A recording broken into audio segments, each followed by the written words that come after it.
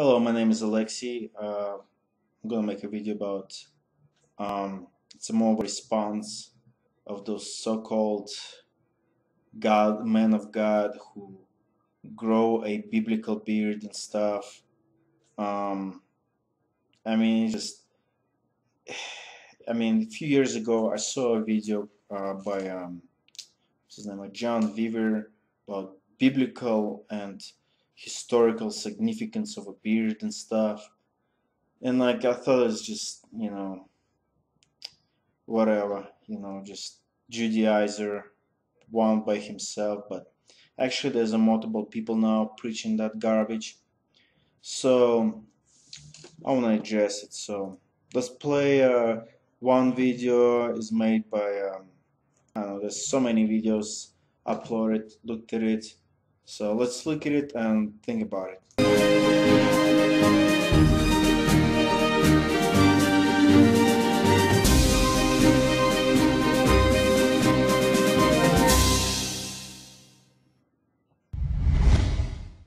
In this presentation, I'm going to be able to show you that the Most High said that He will punish those that destroys or those that disfigures the corners of their beard.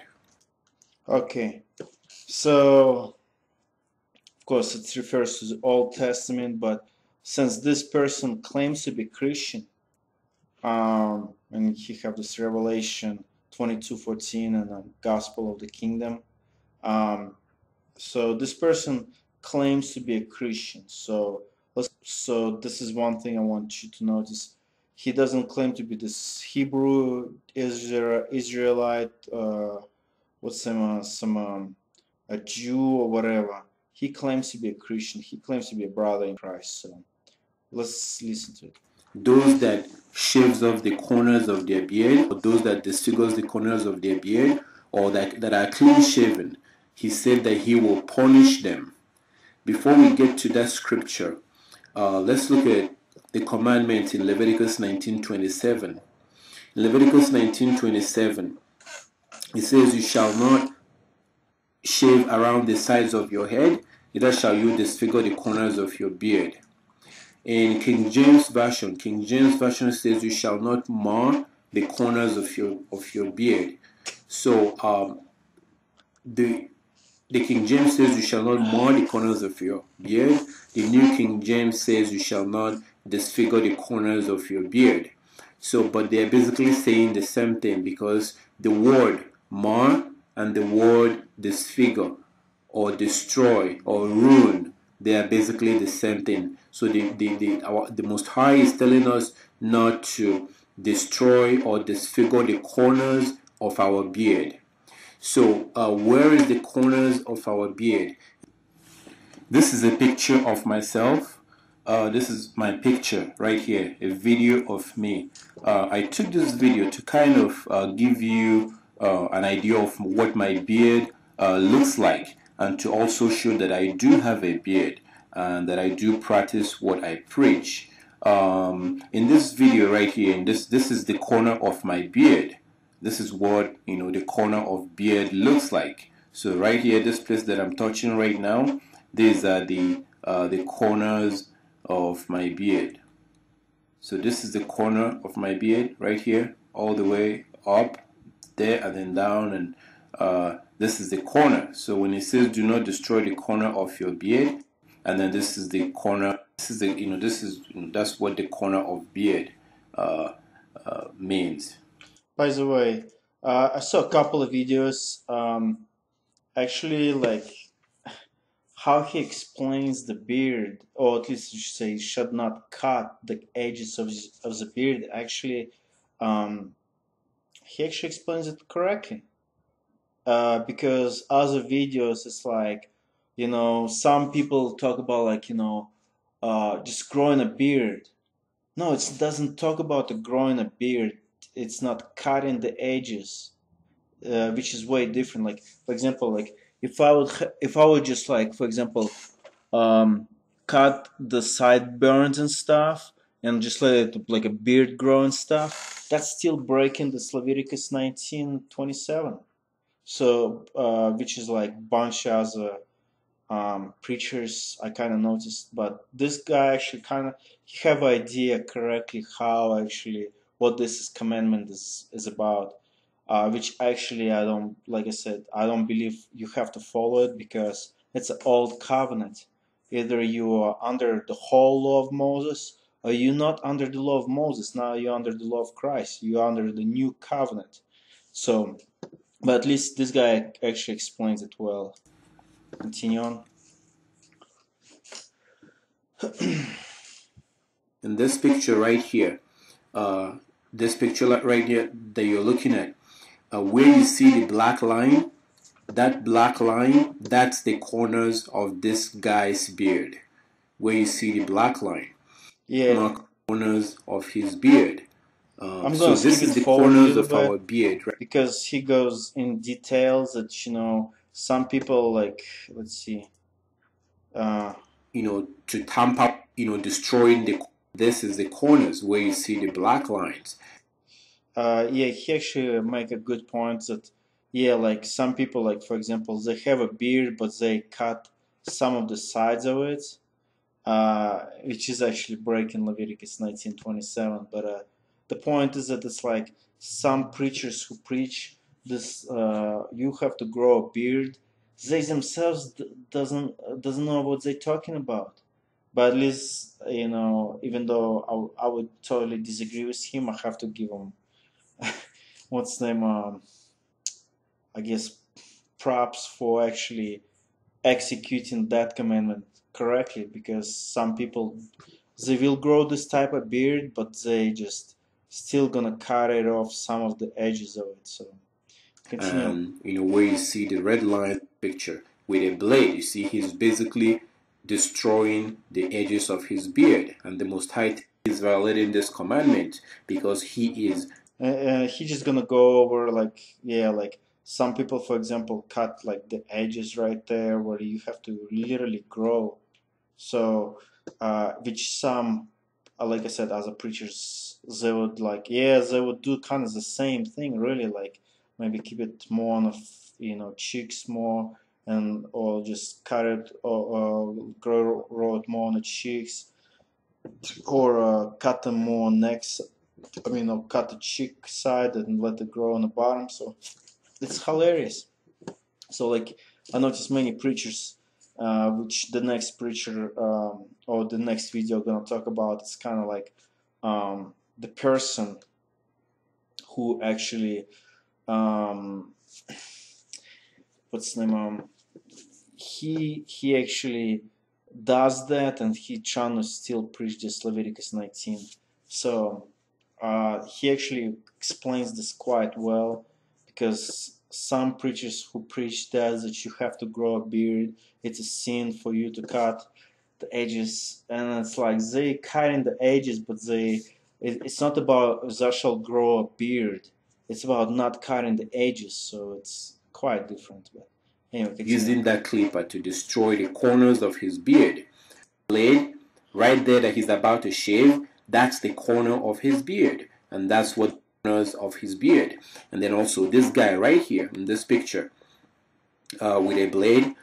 So that's what's going on destroy the edges of his beard. So you look at you know and you know by no it has not been tampered with supposed to do this. Um, and then so uh, let's get to the scripture that where the most high says that he will punish those that that destroys the edges of his beard because remember in leviticus 19:27 he tells us you shall not destroy the edges of his of your beard. You shall not you know uh, destroy or disfigure the edges of your beard.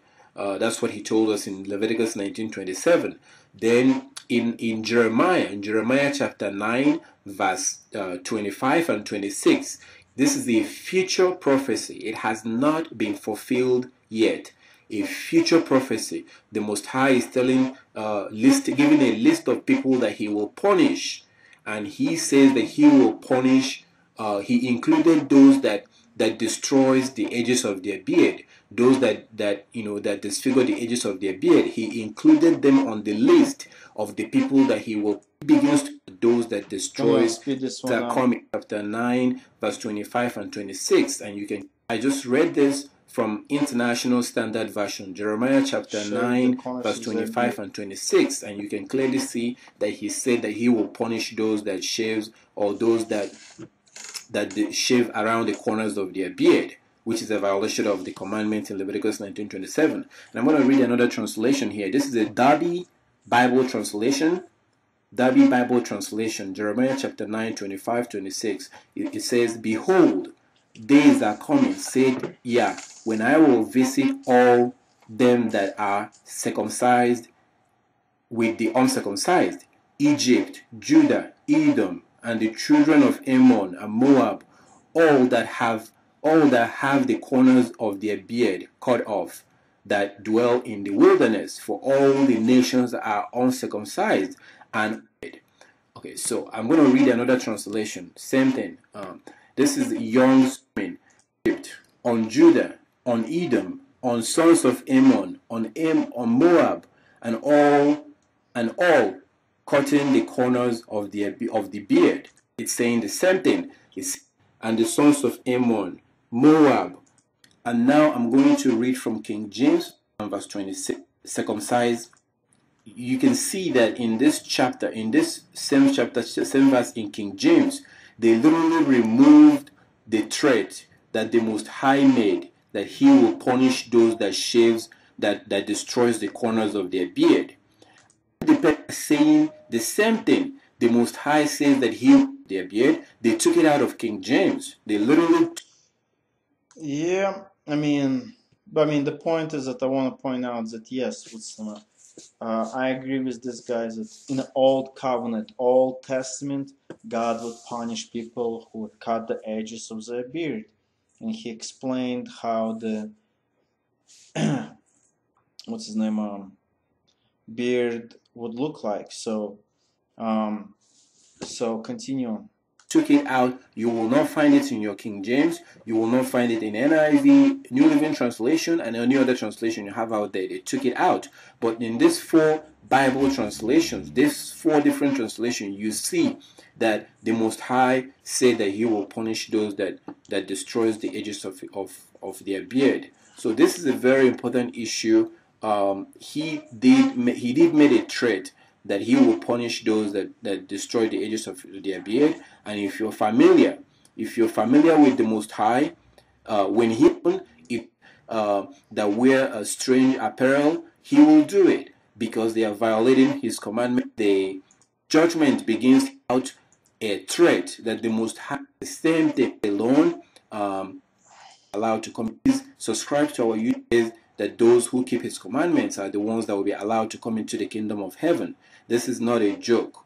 If you uh, have any question or any comment, please feel free to comment below the video and please subscribe to our YouTube channel because we're going to be uploading more videos about this and other topics. Thank you very much for your time.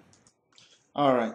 So, is this browser, at least I hope this browser is open for rebuke. So, uh, well, before actually the, I'm gonna present case why, um, what's his name? Uh, oh yeah, what's the name? Um, why, um, oh yeah, the other argument is actually was given by Mr. Vigilant Christian right there. All right. This guy calls himself Vigilant, Vigilant Christian, and like what I kind of notice about him, he just makes tons of like videos about like unbelievers. Uh, I was just like, dude, man, wanted to comment on uh, some of his videos, but just like, you know what, whatever. Um, but this guy is actually much more, I guess, popular. And like, interesting thing, like he would use uh, Mr. Spurgeon, uh, who was in many people's eyes like super preaching and stuff, which he's not in my opinion. I mean, just read his non non non uh, the sermons that didn't make it to the great sermons of Charles Spurgeon, and you'll see like he believed in evol evolution, that most of the people will end up in heaven. Um, what's him now? It's weird. I mean, it's just it's like what's them um, So it's sad when you exalt man that high. And also notice this. This guy was actually cutting the edges of his beard right there. You look, look the there's a hair hairline and there's a beard line, and he cut the edges off. So it's like, see, like once again, it's like uh, people who trying to use this Leviticus 19:27, they don't know what this commandment actually says. It doesn't say to grow a beard. So, but biggest thing I have this is that it's that uh, growing a beard is a hab uh, habit most natural, scriptural, manly. So like in this video, he, well, first of all, like Mr. Um, Vigilant Christian, he will not even talk about the scriptures. He's just gonna talk about Mr. Spurgeon and how manly and how if effeminate people like me who just uh what's some um shave their beards and stuff are. So and it's it's kind of hilarious. It's like I mean he kind of back and forth just like at this uh, well at least John Weaver he kind of changes that yeah you pretty much like a transsexual and stuff if you shave your beard. So let's play this video. Hey everyone, it's the Vigilant Christian Mario, and you're here for another edition of Vigilant Biblical Studies. In today's video, I wanted to look at growing a beard biblically. According to many men of God in the past, growing a beard is, well, as uh, Spurgeon said, is a habit most natural, scriptural, manly, and beneficial. Now, if you tuned into my health channel, you know recently I decided to grow out my manly beard. So here's the before and after, and if you haven't seen these videos, I helped you on how to groom, how to oil, how to prepare the beard for the final growth stage. And uh, now, obviously, I'm not being 100% serious here. I don't think it's a sin if you don't have a beard, but I would. Su- okay, so he don't think it's a sin, but notice this: he doesn't think it it's a sin not to have a beard but notice what kind of scriptures he's gonna use. Suggest that you do it, and let me explain why. I believe it's very important that men try and become as masculine as we possibly can, especially in today's world. Let's take a look at this verse. Do you not know that the unrighteous will not inherit the kingdom of God? Do not be deceived. Neither fornicators, nor idolaters, nor uh, uh, idol idolaters, yeah, and adulterers, nor effeminate. There we go. That's the one I want to talk about. Nor homosexuals, nor thieves, nor the greedy, da da da da. None of those are going to make it into the kingdom of God. But the one I wanted to focus on is an effeminate man. Now, we live in a generation now where this is becoming the norm. And in fact, I was heavily influenced by this. When I was a New Ager, it was all about touching your divine feminine, you know, getting in tune with that part of yourself. So I embraced a lot of feminism and I thought that was good. I thought that was actually progressing, you know, evolving that way. That's that's what men need to do. We need to go and become more feminine and women need to become more masculine and that's a good thing. But in Christianity, that we come to see is a massive deception. Well, I agree to some uh, I agree, but notice this. He using the word effeminate and now he gonna equate People like me who shave their beard to effeminate. Hmm. Yeah. So he doesn't even go to the Levi as far as I remember from this video. Video doesn't go to Leviticus 19:27. He just goes straight to New Testament and pretty much look. Uh, I mean, how it okay? Let's just say this: how it comes out that oh, it's not a sin but you know I want to focus on word effeminate and uh, let's continue on. God had created men and women equal but different, and we need to embrace our differences. And one of the things that men are is hairy, masculine, muscular, strong. We need to embrace this part of our nature and not be effeminate.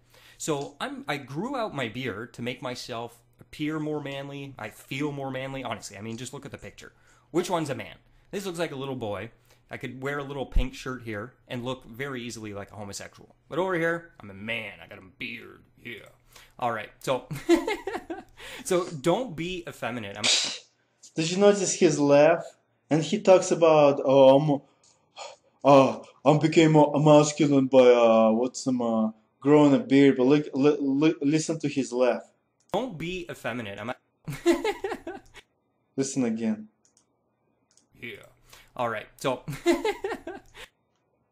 Dude, this growing a beard didn't help you at all, man. You still left like a girl. Continue on. So don't be effeminate. I'm actually going to probably do videos. Uh, I'll show you me throwing out my skinny jeans, uh, a bunch of other shirts that probably are pretty effeminate and stuff like that. So I'm doing a cleansing in my own life, uh, and I'm pushing myself towards becoming more masculine, even in my appearance.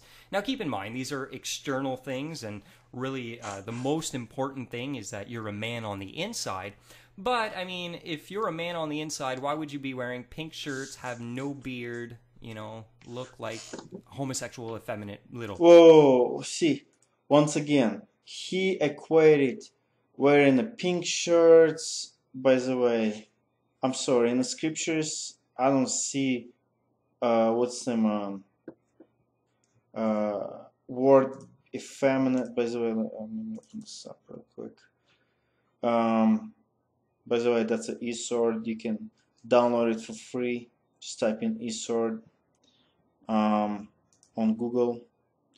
But like this guy, first of all, let, let, let's see what this word effeminate means.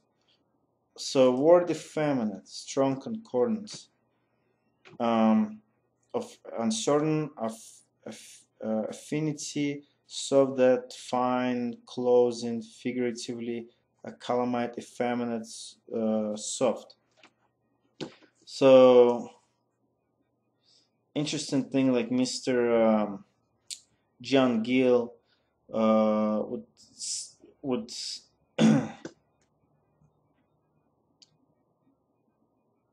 uh, some uh, talk about like word effeminate more like a soft person um, there's a couple other ones, but they kind of like really like they kind of bum- bundle all together. And I was just like, you know what, whatever. Um, let's see, where is it? Effeminate. Uh, yeah, and they don't quite define it, so I'm just like, okay, whatever. But yeah, I agree that today's culture is uh, effeminate. Uh, it makes men you know, pretty much being a girly man, really. That's all they're really trying to do. But interesting thing, like how he equated people who were in a pink shirt and being a homosexual, and he bundled them all up, just like it's almost like what some uh, he's saying that yeah, if you don't have a beard, you're just one of those groups. That's how it came out. Just think about why would you even have this thing on? Just like look. Um, so he, to him, like one of the parts of being effeminate is not having having a beard. Well, the problem is that like uh, the previous video showed you that um, it's not about having a beard. It's actually not cutting edges. But of course, uh, but okay, let's just give it to him. Like you know what, he, he doesn't uh, talk about like Leviticus 19, he just goes into the New Testament that you know beard is one of the things that men ought to do. And if you are if you if you're effeminate, then you're just gonna cut your beard off. Well, let's just finish. Let's, how about this? Let's just finish this whole boy. Uh, you shouldn't want or desire that. So, just wanted to make this video here to encourage you to grow a beard. According to Spurgeon, it is scriptural, manly, and beneficial. It's the most natural thing. Exactly. God had designed us to grow beards, so grow one. You know, women can't unless they go on those transgender hormones these days. But for the most part, naturally, according to God's design, women are not even designed to grow beards, only men. So if you're capable of growing one, grow one. See once again. So now he, what's um, uh, it's not a sin. Like notice this. He, it's not a sin in the beginning to not have a beard. Then he compares man who doesn't have a beard to uh, homosexuals and stuff. Now he is encouraging by quoting Spurgeon, which is one of the parts is scriptural and manly. So like scripturally, so uh, so like Spurgeon and many other Judaizers um, at that of that time, they would like, well, I'm just encouraged. It's not a sin, but you know, now they start comparing uh, these guys. It's, it's actually interesting thing. Like it reminds me of this John Weaver sermon on YouTube, uh, who in the beginning is like, well, it's not a sin not to have a beard. I don't want to put someone's conscience, but then now, uh, what's the name? Now he starts comparing also like to transgen uh, transsexuals and stuff, people who doesn't have a beard, just like this guy. Well, except this time he talks about effeminate, so he compares people to effeminate, and then oh well, I'm just encouraging you. I'm just like, listen, see, like they like a double tongue. It's a double tongue. In the beginning, you say it's not a sin. Second, then you compare a man who doesn't have a beard to effeminate, which by the way, who will not inherit the kingdom of God. And now you just, oh, let me just encourage you. It is most natural for you to do so, and it is most masculine and manly, and not what God doesn't want, effeminate. Okay? It is women who have soft faces to the touch. The man has the grizzly beard. Okay? Just the way it is by God's design time to accept it. Now, a lot of women today, unfortunately, love the effeminate man. They love that. That's that's the look they love. I even seen so many women saying, "Oh, you look so cute here." No, women, why are you attracted to effeminate, homosexual-looking men? Grow a beard, okay? Like, love manly men. Train. See, once again, he he compared with uh, people without a beard to homosexuals again. Yourself to love masculine men. You've actually been brainwashed probably by Backstreet Boys, NSYNC, and all those little effeminate men to desire that. You should desire a strong man, like a real testosterone man. He's a warrior. He's strong. He's gentle. He's loving. He's caring. He's got those parts of the Christ like character, of course, but he's a masculine man. Now, what I'm going to do for the remainder of the video is just look at these funny little quotes I found from beardgospelmen.com. Uh, just a little bit of uh, comedy relief for you this Sunday morning. Your problem is not merely the absence of a beard, but your effort to smooth and soften yourself like a woman. awesome. we shall wear the beard after the example of Christ and all of our first saints. Oh, whoa, whoa, whoa. Did you notice what the uh, what this uh, whom he quoted, you shall, uh, we shall wear the beard after the example of Christ, and all, uh, and all our first saints. And it's just like, whoa. So, uh, Corinthians 11, verse 1 uh, talks about be examples of me as I am of Christ. So, so he would say that pretty much I'm not following Christ. I am in sin. Literally, like you cannot say. How can you say I'm not in, in sin and then quote this guy? Because let's go. Uh, let's go to the First Corinthians 11 verse 1. Uh, be ye followers of me, uh, even as I also am of Christ. So, what's the um, so yeah, according to this guy, whoever it is, Francisca Constitution, I don't know who does this. Is something manly, natural, severe, despised, and austere. I don't even know what that austere, austere Oh, sorry, I'm French, guys. All right. Grooming tip for manly Christian men. After you're gonna talk about, dude, you laughed like a girl, man, twice. Grooming tip. Oh, sorry, I'm French, guys. All right. That's a girly laugh, man. Come on. How about clean the clean the cup inside and then worry about the beard? First of all, if it's not a sin, then why would you even quote them or advise somebody? It's like, look, uh, what's some uh, some things I just like. It would be nice. I mean, just whatever, dude. If it, if it's not a command of God, keep your mouth shut and let the Christ be His head. That's it. Continue on. Grooming tip for manly Christian men. After feeding on God's word, always check for crumbs that may have fallen into your beard. That's awesome. The beard covers a multitude of chins. the five points of beard and beardism. They're making this is Calvinism has five points, but according to this, so does beardinism. Total awesomeness, unconditional growth, limited trimming, irresistible manliness, perseverance of the whiskers. and this is Knox, man. Knox had the, the, the king of, of beards. And apparently, I didn't know this exists, but uh, they have Spurgeon Spruce Beard Balm. I'm definitely going to get my hands on some of that. That is pretty epic.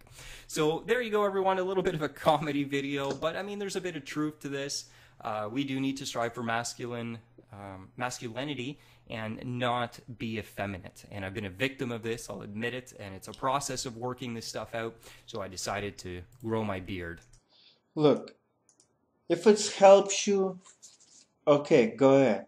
But once you start using the scriptures, once you start using so-called godly man to show that you know you you know what some of really, really I don't know what he, he was thinking by using First Corinthians six, but it's like you just pretty much saying that every person who cuts his beard is effeminate and they shall not inherit kingdom of God, and it's funny to you, but you're just like, oh, a little bit of a truth in it.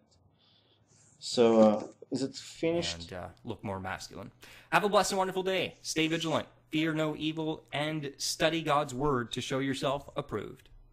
So, now I'm gonna deal with those uh, Judaizers, uh, this Francisco Constitution, whatever, Charles Spurgeon, uh, Vigilant Christian, and Mar- by, his name is Mario, I think, yeah, and uh, the guy whom I played before, just, and uh, John Weaver.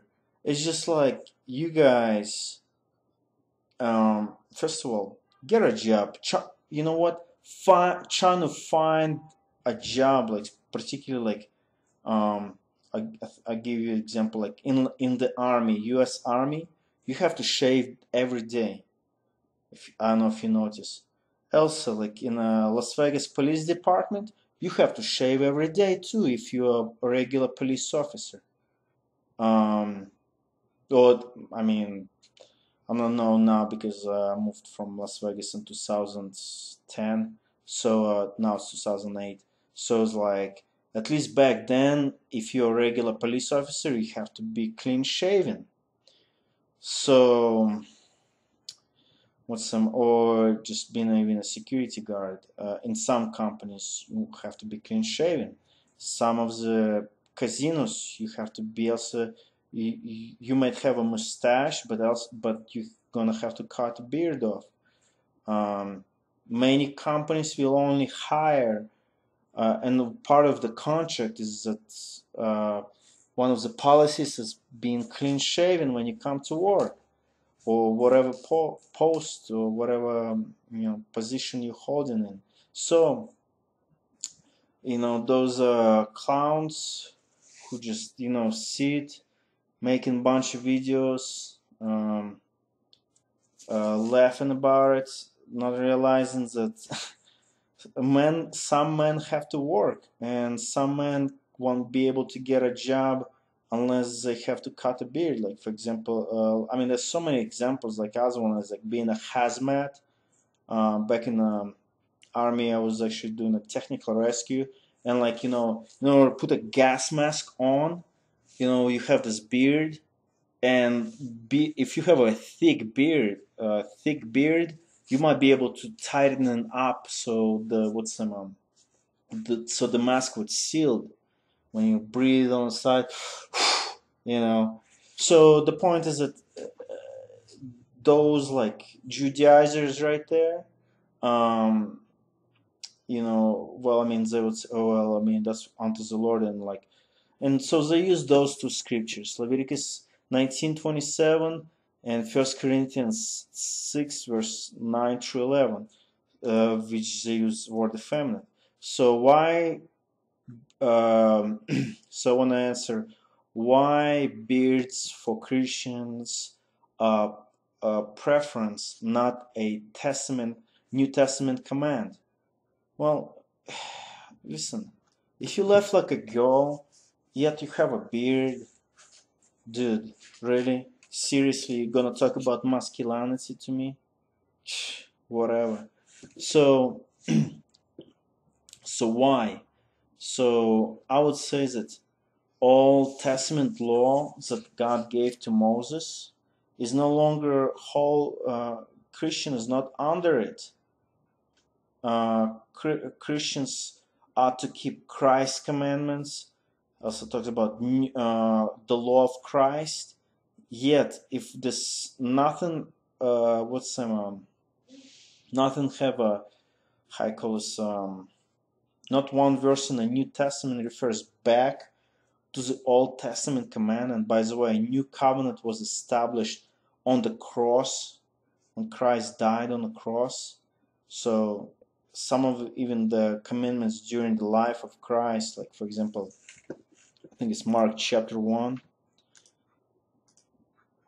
where uh, Christ healed a man and uh, tells him to sh- to show him uh, to sh- uh, uh, so Christ healed this guy and then uh, tells him to go thy way, show thyself to the priest, and offer for thy cleansing those things which Moses commanded for the, a testimony unto them. So some things um, uh, like during the Christ ministry were part uh, was some was still kind of like a in transaction period of the old and the new covenant.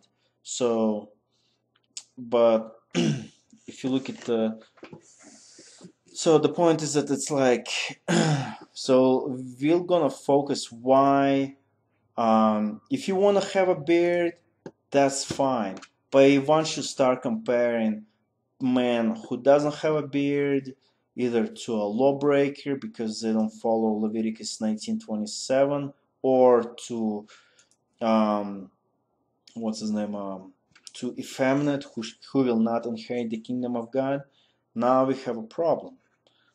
Um, so, so why Christians don't have to have a beard? So let's read. Let read Hebrews 7, 11, uh, verse 12. If there uh, therefore perfection were by the Levitical priesthood, by the way, Levitical priesthood Book of Leviticus. if therefore perfection were by the Levitical priesthood, for under it the people received the law, what further need was there that uh, another priest should arise after the order of Melchizedek, and not uh, and not be called the other of the uh, order of Aaron? for the uh, the priesthood being changed, there is made of necessity the change, also change of the law. So the priesthood changed, the law also has changed. So you're not under the uh, Mosaic law. Next thing. Uh, talks about what's his name, uh, uh, Jesus at the wedding, and then um, I mean, I'm sorry, Jesus not fasting like uh, uh, disciples of John, John the Baptist and Pharisees, and Jesus replied, and Jesus said to them, "Can the wedding guests fa- fast while the bridegroom is with them? As long as they have the bridegroom with them, they cannot fast." the days will come uh, when the uh, bridegroom is taken away from them, and then they will fast in that day. no one sews a piece of uh, uh, piece of unshrunk clothes on a an old garment.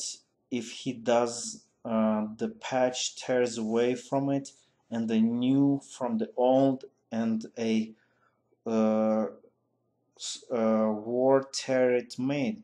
And and no one puts a new wine into old wine skins if he does the wine will burst the wine skin and the wine uh, uh, wine is destroyed. And also uh, and uh, so the the skins but the new wine uh, is for fresh wine skins. So the point is that it's pretty much um, parable about like don't put the old testament commandments and laws uh, into new covenant think of a covenant like a contract so you don't put the old uh, stip stipulations of the contract in a new contract. No, you keep the new covenant. Uh, what's that? Being a new covenant, new covenant, new law. Um, so what's the matter? So I'm gonna go over book of Hebrews and just show to you that uh, book of Hebrews describes how God changed priesthood, the covenant, and the law.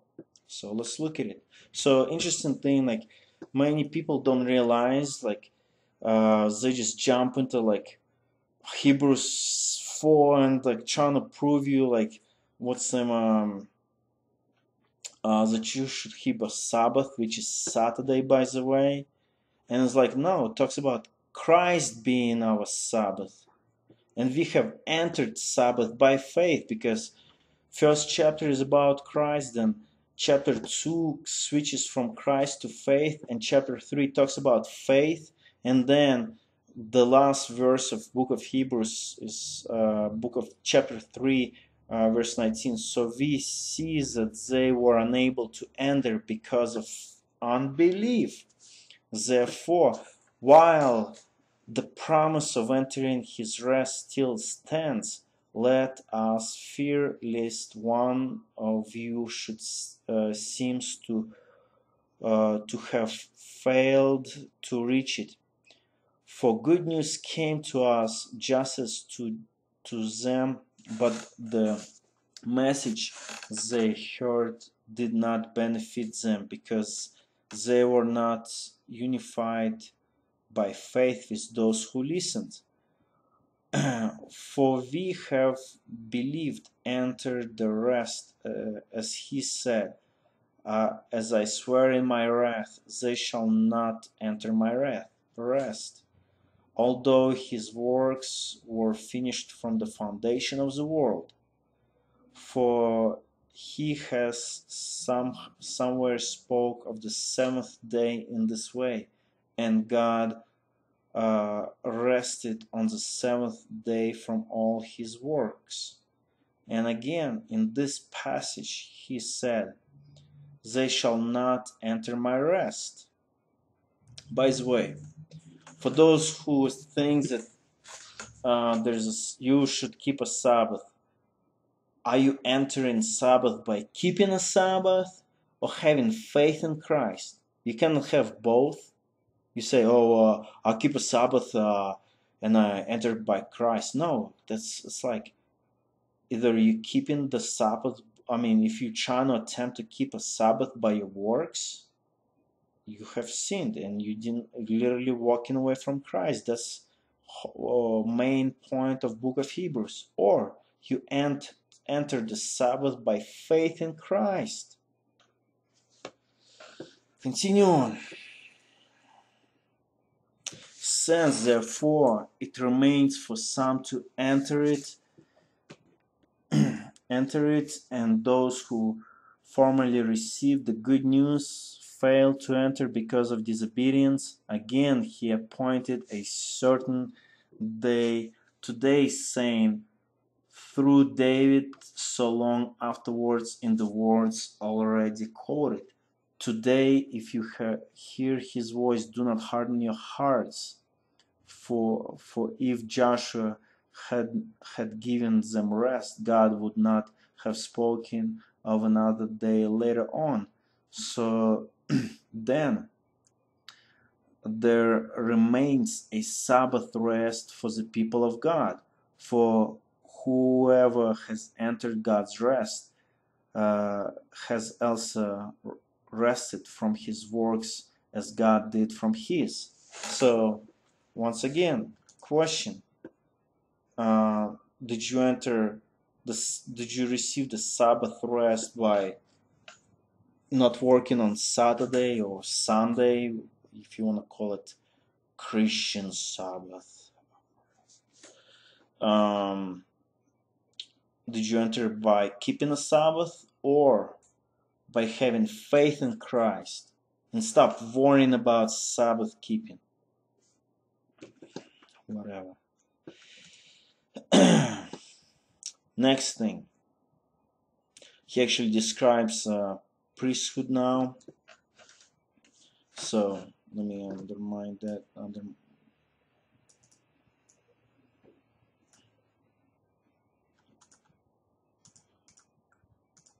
so let's make it bigger for every high priest chosen from among the people is anointed to act on behalf of men in relation to God, to offer gifts and sacrifices for sins. He can deal gently with the arrogant and wayward since he himself is beset with weaknesses weakness because of this he is obligated to offer sacrifice for his own sins just as he does for those of the people. And no one takes his honor from him, but only when God, God uh, when called by God, just as Aaron was. So also Christ did did not exalt himself to be uh, made a high priest, but was appointed by him by him who said to him, "You are my son; today I have begotten you." As he says also in another place, You are a priest forever after the order of Melchizedek. Continue on.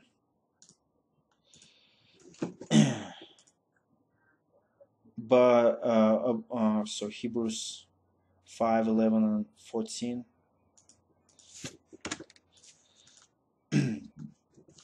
about this one. Uh, we have much to say and it is hard to explain since you have become dull of hearing.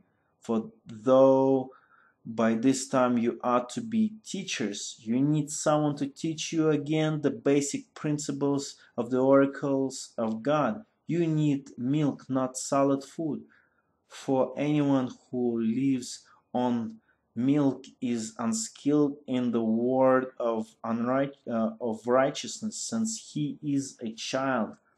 But solid food is for the mature, for those who have their power of discernment trained by constant practice to distinguish good from evil. So uh, he talks to the um, Jews who pretty much needed correction once again. It's you know it's it's bad when you have to go back to the uh, milk instead of solid food. So so continue on. Um, so continue on.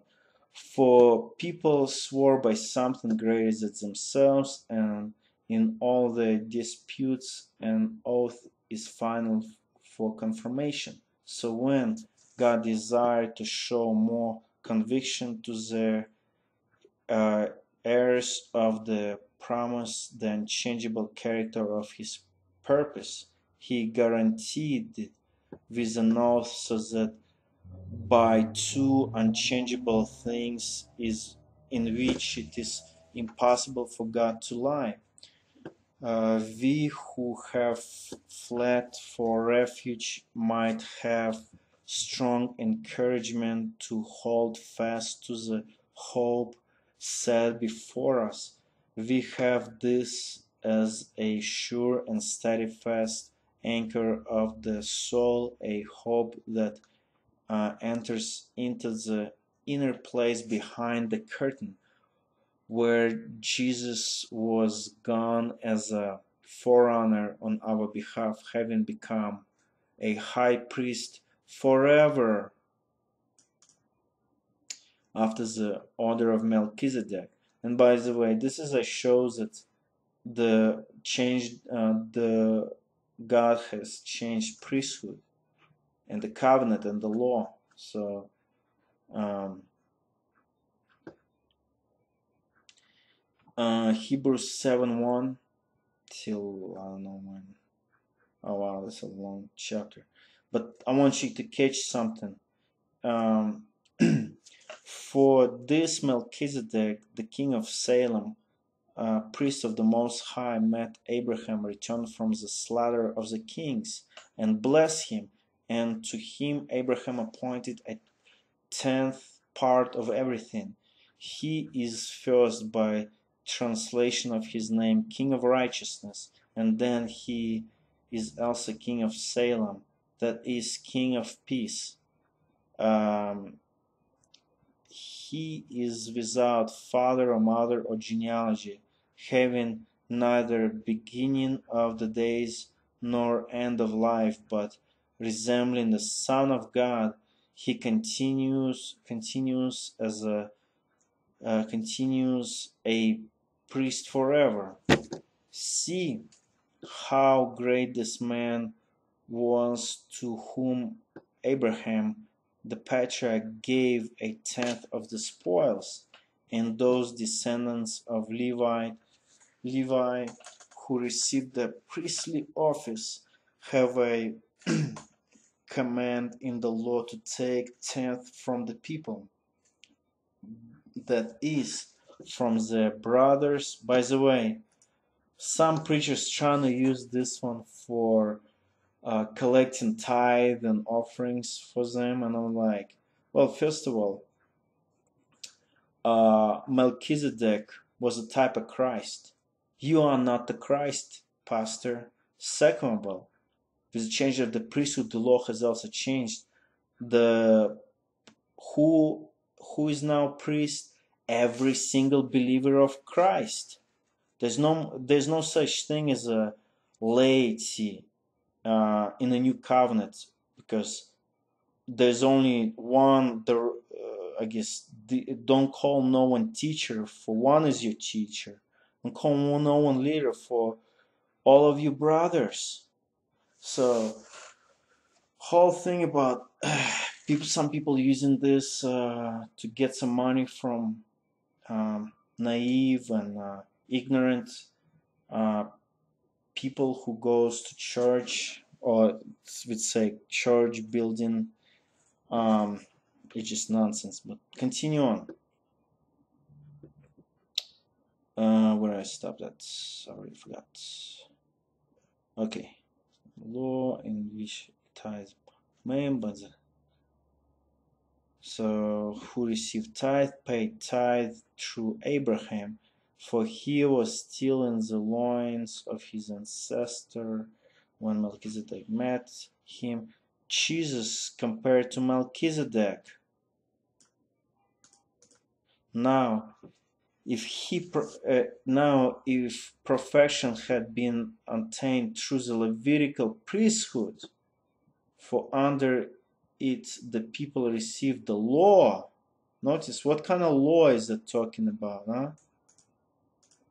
What further need uh, would there have been for another priest to rise after the order of Melchizedek, rather than one named after the order of Aaron? For when there is a change in the priesthood, there is necess- necessarily a change in the law as well. See, the law has changed, the covenant changed.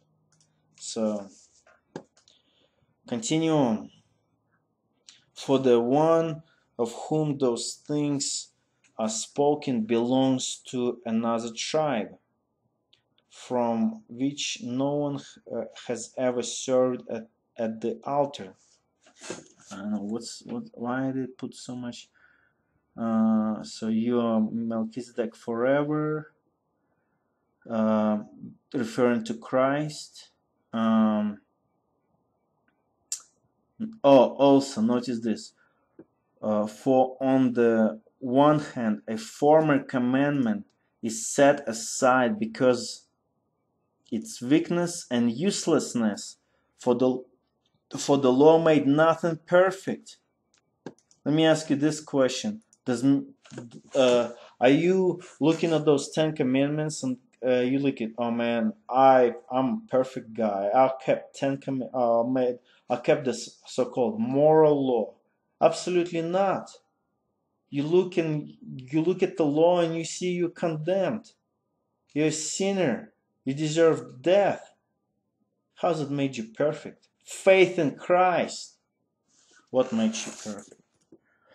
But one, on the other hand, a hope is introduction through which we draw near to God. And it was not without an oath, for those who formerly became priests uh, were made such without an oath. But this one was made a priest with an oath by the one who said to him, The Lord has sworn and will not change his mind. You are a priest forever. This makes Jesus the guarantor of a better covenant.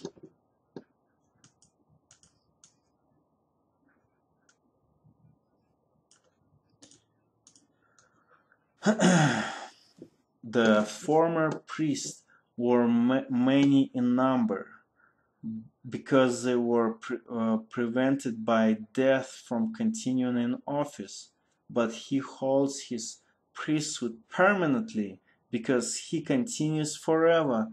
Consequently, he is able to save the uttermost those who draw near to God.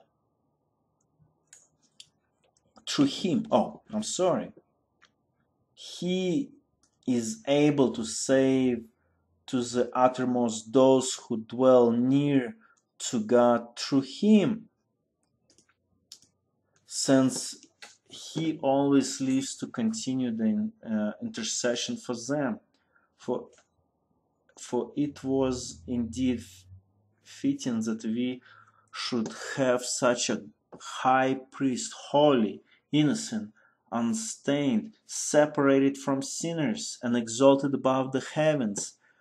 He has no need, like those high priests, to offer sacrifices daily, first for his own sins and those for the uh, for those people of the people, since he did this once for all, where he offered up himself for the law anointed man in their weakness as high priests.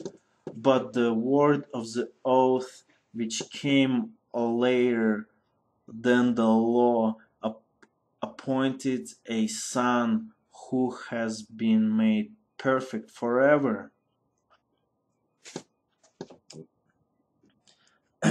now, uh, how many chapters I got? Okay, so uh, Hebrews 8 1. Now, the point in what we are saying is this we have a, such a high priest, one who is seated at the right hand of the throne of the majesty in heaven, a minister in the holy places in uh, the true tent that the Lord set up, not man. For every high priest is appointed to offer gifts and sacrifices. Thus, it is necessary for this priest also to have something to offer. Now, if he were on earth, he would not be a priest at all, since there are priests who offer gifts according to the law. They serve a copy, a shadow. Notice this. Priests who offer, they serve a copy and the shadow of the heavenly things. Uh, for when Moses was about to erect the tent, he was instructed by God, saying, He that uh, you make everything according to the pattern that was shown you on the mount uh, mountain. Uh, but as it is, Christ has obtained a ministry that is so much more excellent that the old uh, as the covenant he mediates is better since it is uh, enacted on better promises.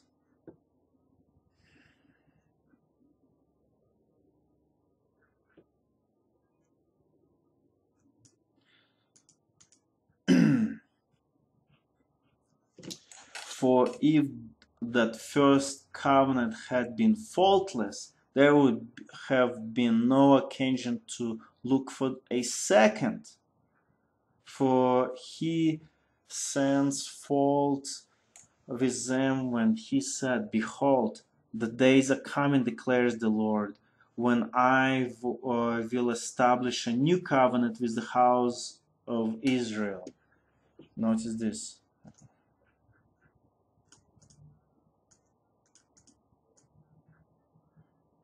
And the house of Judah, not the covenant that I made with the fathers on the day when I took them by the hand to bring them out of Egypt.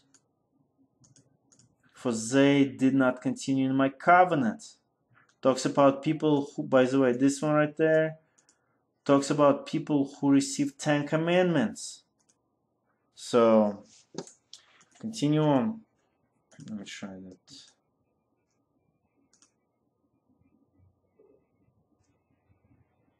Ah, doesn't work.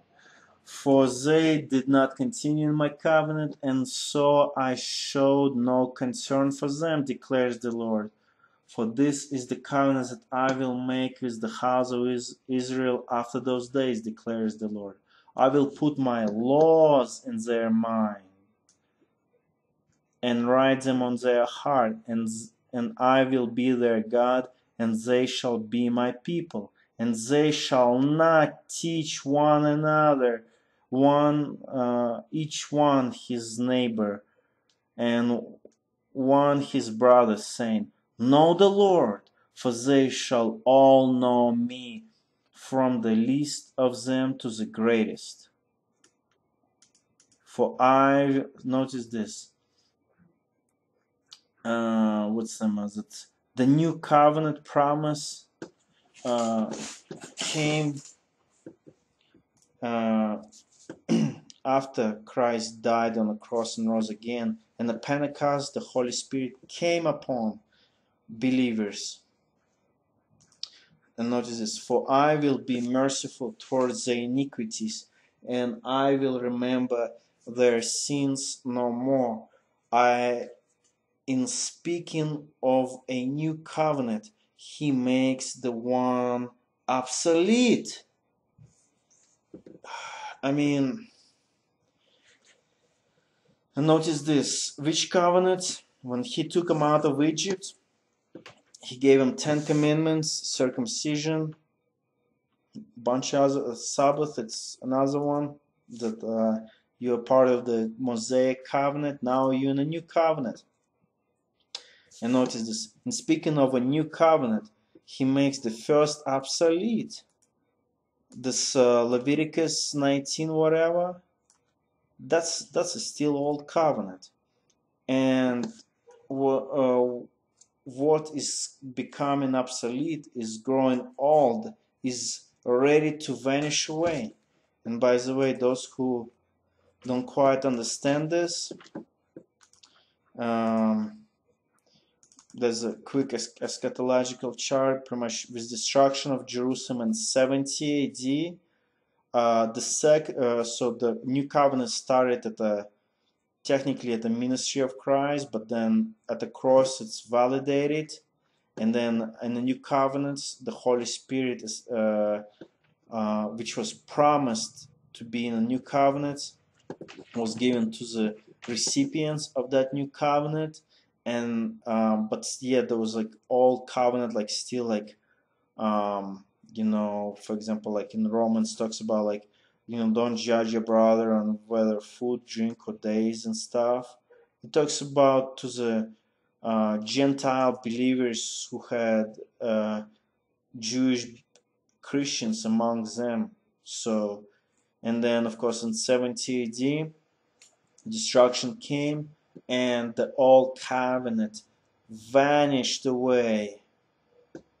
So we no longer live in this kind of like a what's his name um all all under like a on like kind of like a how I call them um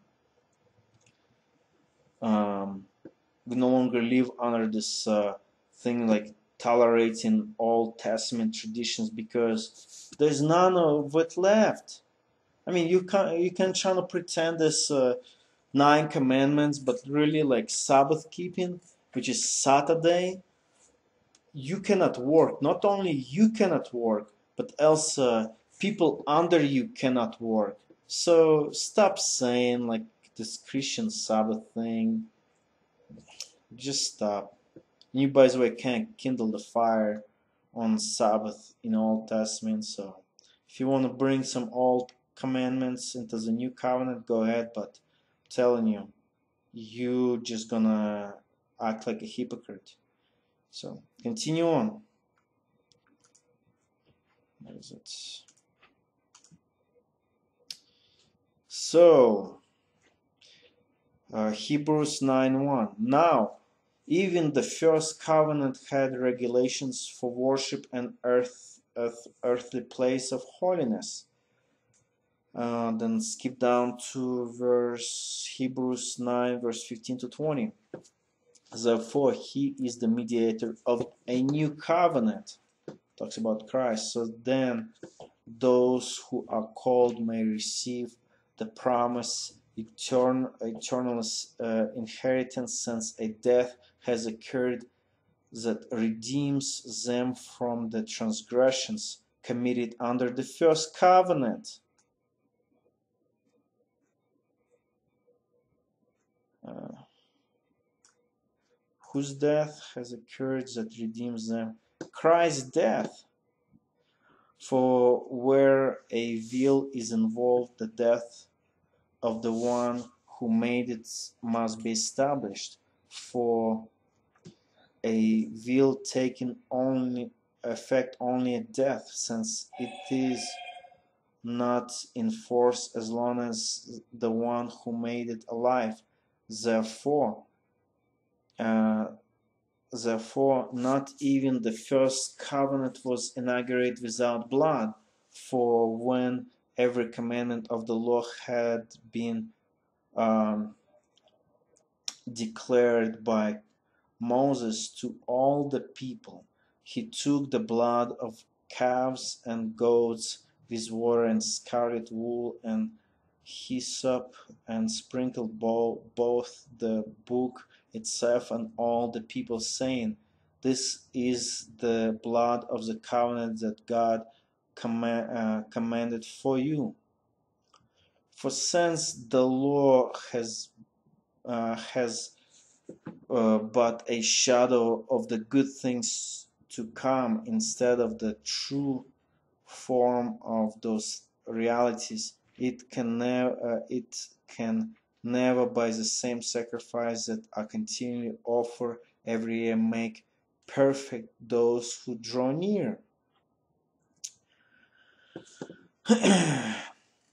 Uh, so when he said above he uh, you have neither de- desired nor taken pleasure in sacrifices or offerings and burnt offerings and sin offerings those are offering offered according to the law. Which law? Law of Moses. See, like I used to believe this uh, uh, dividing uh, the law in like three parts and stuff, and um, it's just wrong. No, it's like one law. Um, there's not like moral, judicial, and sacramental. It's one law. It's either you are under the whole law of Moses or you, or, or you none of the law of Moses, and now you're under the new covenant of Christ. so continue on. Uh, Hebrews Hebrews uh, 10 verse 15 and 18 and the Holy Spirit also bear, bears witness to us for after saying this is the covenant that I will make with them after those days, declares the Lord. I will put my laws in their hearts and write them on their minds. And then he adds, I I will remember their sins and I will I will I will remember their sins and their lawless deeds no more. where where there is forgiveness of those, there is no longer any offering for sin. Therefore, brothers, since we have such confidence to enter the holy place by the blood of Jesus, uh, by the new and living way that He opened for us through the curtain that is through His flesh, and since we have a great priest over the house of God. Let us draw near, uh, near with a true heart in full assurance of faith, with our uh, hearts sprinkled clean from an evil conscience and our bodies washed with the pure water. Uh, let us hold fast the confession of our hope without wavering, wavering for he had promised is faithful. And let us consider how to stir up one another to love and good works, not, not neglecting the meeting together, uh, as it is habit of some, uh, but encouraging one another, and all the more as you see the day draw near. Uh, go and skip into a few verses. Hebrews 10 37 to 39. Yet a little while, and he comes, one will make not delay, but my righteousness, uh, but my righteous one shall live by faith. And if he shrinks back, my soul has no pleasure in him. But we are not of those who shrink back and are destroyed, but of those who have faith and preserve their souls. So once again, are you shrinking back to the uh, oops? Are you shrinking back to the law of Moses? You know, I uh, are you going back to it? or are you staying in Christ by faith in Christ? That's the question. Continue on. It's a little bit more. For yet a little while, and the coming one will come and will not delay, but righteous, but my righteous. Okay, let's continue. Uh, Hebrews 12 22 to 26 but you have come to Mount Zion, to the city of the living God, the heavenly Jerusalem, and to innumerable, innumerable angels in the festival gathering, and to the assembly of the firstborn who are enrolled in heaven, and to God, to the judge of all, and to the spirits of the righteous made perfect, and to Jesus, the mediator of the new, of a new covenant. And uh, to sprinkled blood that speaks a better word than the blood of Abel. See that you do not uh, refuse him who, who is speaking, for he for if they did not escape when they refuse him who warns them on earth, much less we uh, much less will we escape if we reject him who warned uh, warns us from heaven continue. Uh, interesting thing like what someone here talks about people talk about oh it's just uh, talks about um, sacramental law. But then look at like hebrews 13 1 through 5 those are not uh, high column uh, those are not uh, uh, sacramental laws. Now those like a call so-called moral laws if you like but i would just call them command commandments of the new testament. So continue on. Hebrews 13 1 through 5 let brotherly love continue. Do not neglect to show hospitality to strangers for thereby some have entertained angels unaware. Remember those who are in prison, as through uh, as though in prison with them, and those who are mistreated, uh, since you are also are in the body. Let marriage be held in honor among all, and let the marriage bed be undefiled for God will judge the sexually immoral and adulterers. Keep your life free from the love of money and be content uh, with what you have. For he said, I will never leave you nor forsake you. Jesus Christ is the same yesterday and today and forever. By the way, I want to say something actually. Yeah, verse 8 remember me talking about like with the change of the priesthood the law has also changed well yes and jesus christ is the same yesterday today and forever god did not change but the god who gave them a mosaic law mosaic covenant old testament covenant the covenant of circumcision the same god he established a new covenant on the cross so continue on. By the way, um, uh, since this person, where is it? This guy right there.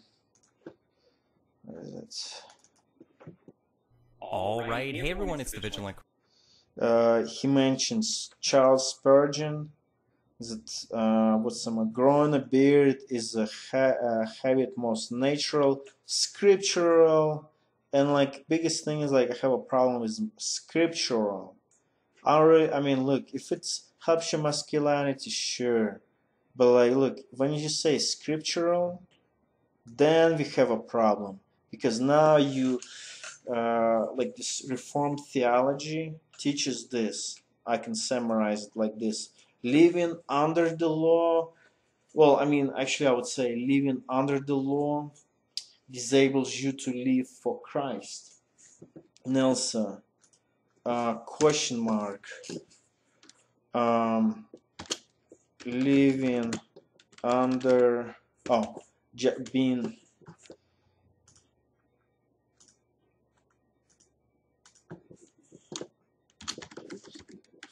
fight by faith. Yet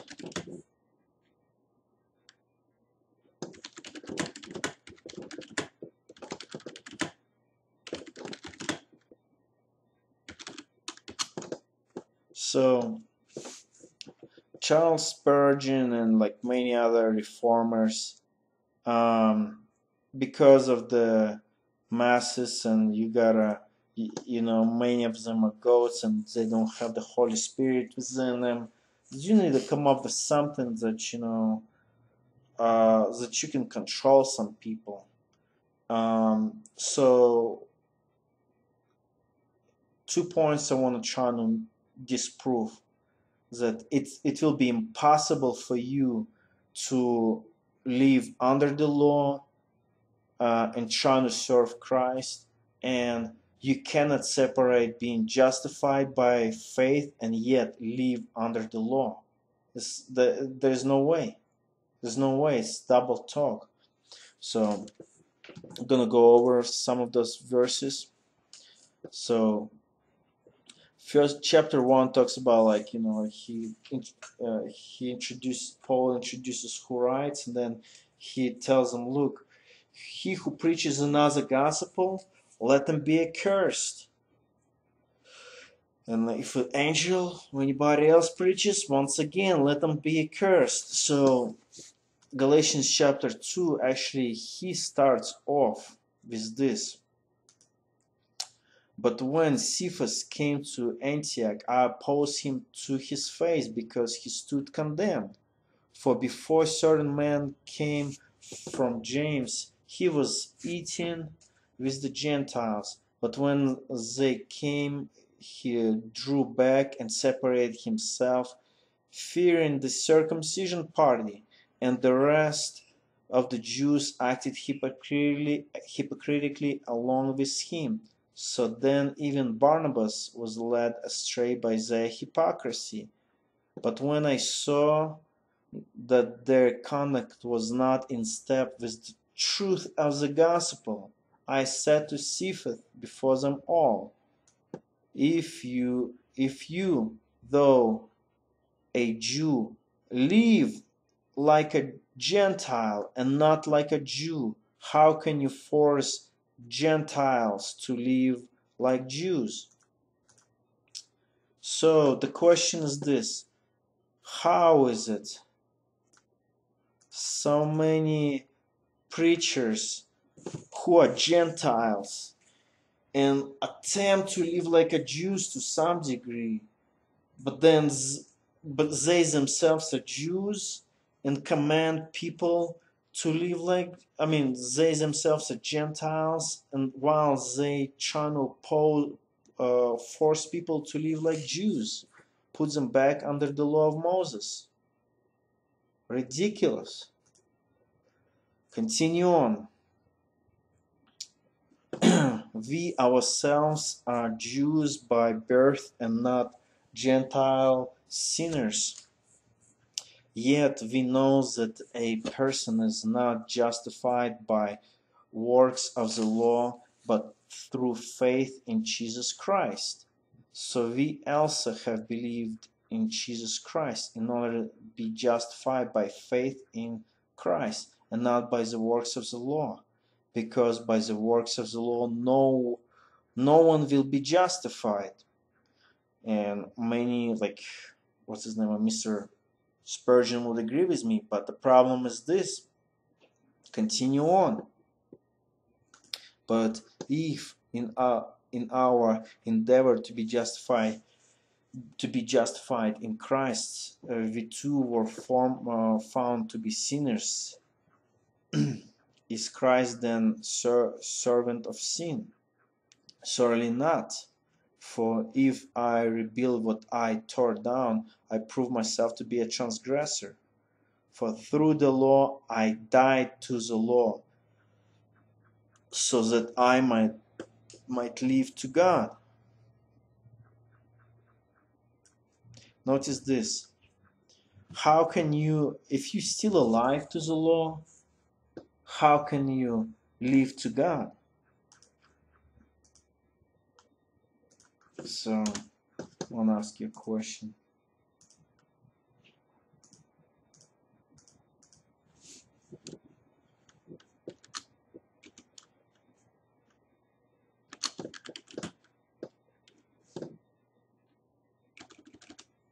Did you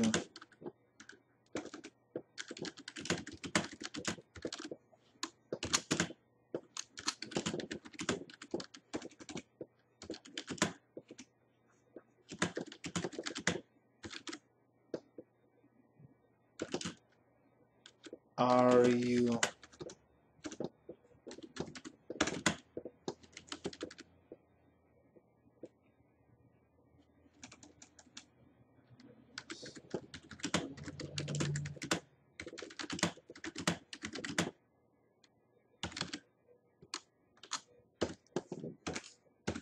how can you you know it's interesting like before I used to think like oh you know yeah I died to the law in the sense of justification yet I have to leave um, I have to live by the law. That's how many reformers would teach that text. But the problem is this continue on.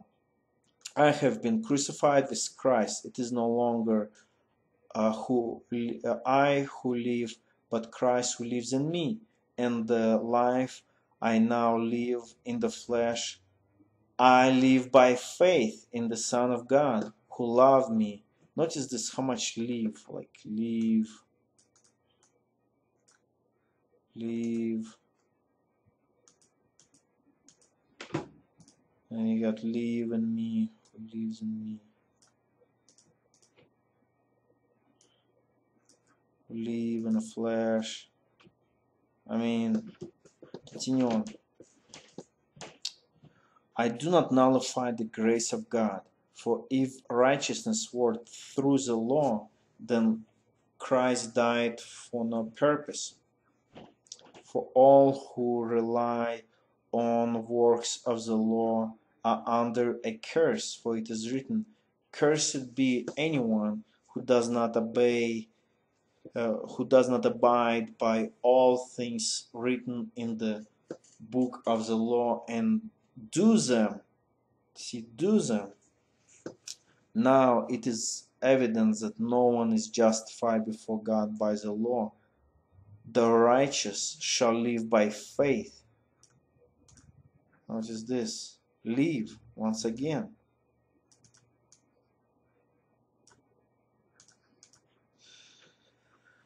But the law is not a faith. Interesting statement. The law is not a faith. Then the one who does them shall live by them. Notice this again live by them. If you want to do the law, you better live by all of them. Christ redeemed us from the curse of the law by becoming a curse for us. For it is written, Cursed is everyone who hanged on a tree.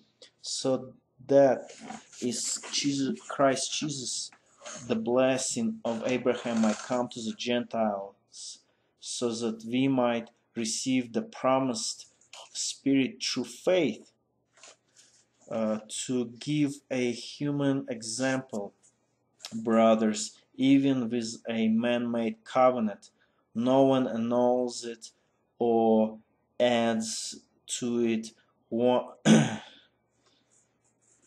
uh, adds to it uh, it once it will it will be ratified.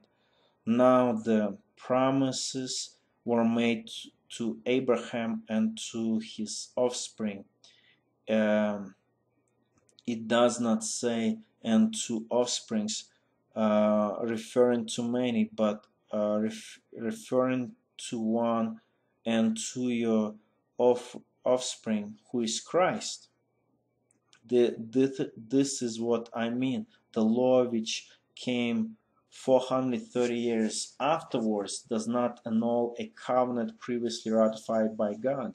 So as to make the promise void for if the inheritance came by the law, it is no longer comes by promise, but God gave it to uh, gave it to Abraham by a promise. Why then the law? It was added because of transgressions until the offspring should come to whom the promise uh, had been made and it was put in place through angels by an uh, intermediary intermediate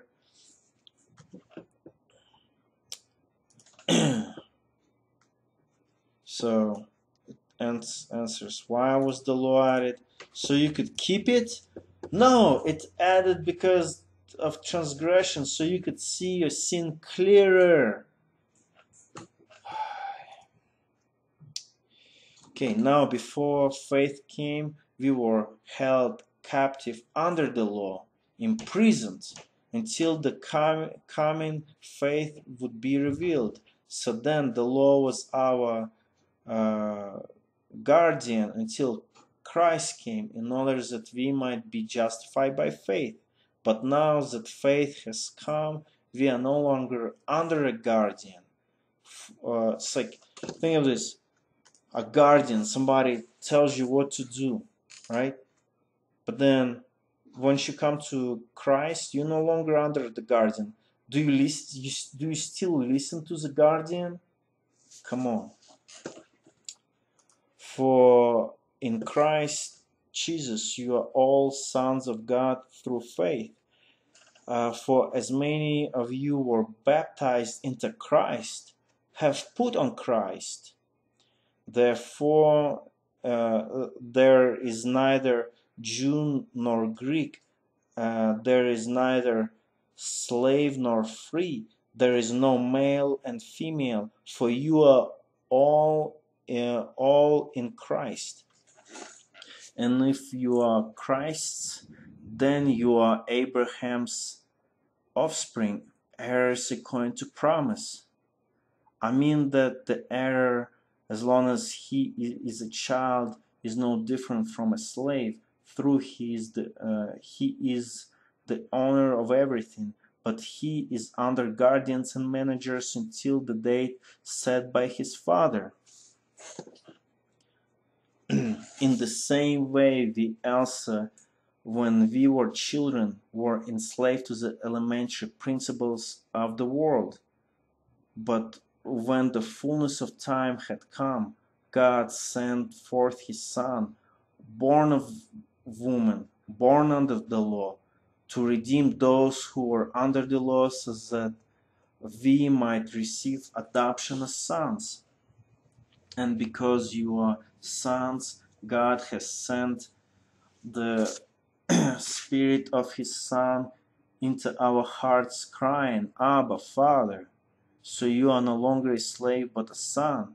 And if a son, uh, then an heir through God. Um, so this is actually my main one right there.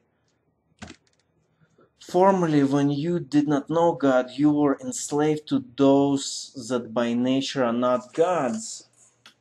But now that you have come to know God, or rather to be known by God, how can you turn back to the weak and worthless elementary principles of the world?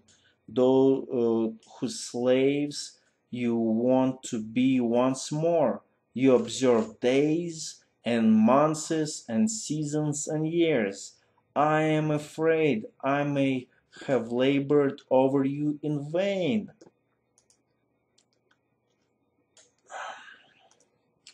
That's like the same thing with Judaizers who keep a Sabbath or like um, those Jewish holidays and stuff, or I would say I would say man-made commandments like Christmas also can apply, but this is mostly concerning about um, people who keep um, Jewish things. So continue on. Tell me, you who desire to be under the law, like tell me those who wants to be under the law of Moses. Tell me those who desire to grow a beard because of Leviticus 19. Do you not listen to the law? Uh, for it is written that Abraham had two sons, one by a slave woman and one by a free woman. But the son of the slave was born according to the flesh, while the son of the free was born through promise. Now, this may be interpreted allegorically. Those women are two covenants, one from Mount Sinai. Mount Sinai, those like uh, Ten Commandments was given, and uh, this Mount Sinai Ten Commandments bear children for slavery. She is Hagar. Now, Hagar is Mount Sinai in Arabia, who corresponds to the present Jerusalem, for she is in slavery with her children. I mean, go take a trip to Jerusalem and tell, hey, You're a bunch of spiritual slaves. Continue on. But the but the Jerusalem above is free, and she is our uh, mother, for it is written, uh, Rejoice, O barren one who does not bear, break forth and cry aloud, you who are in labor, for the uh, for the children of the uh, desolate one will be more than those of the one who has a husband. Now you, brothers, like Isaac, are children of promise. For just as at this time, at that time, he who was born according to the flesh persecuted him who was born according to the Spirit, so also it is now. But what does the scripture say? Cast out the slave woman and her son, for the son of the slave woman shall not inherit, the, uh, inherit with the son of the free woman. So, brothers, we are not children of the slave, but of the free. For freedom, in for freedom, Christ has set us free. Stand firm therefore, and do not submit again to a yoke of slavery. Question.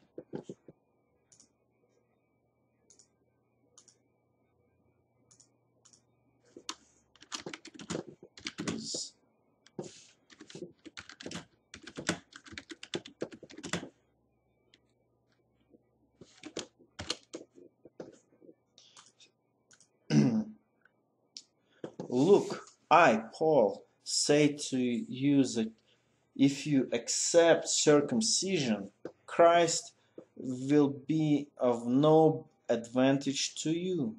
I testify again to every man who accepts circumcision that he is obligated to keep the whole law. I don't like that. And I would say this every man who accepts I have to grow a beard to be more biblical and more masculine, then he's obligated to keep the whole law.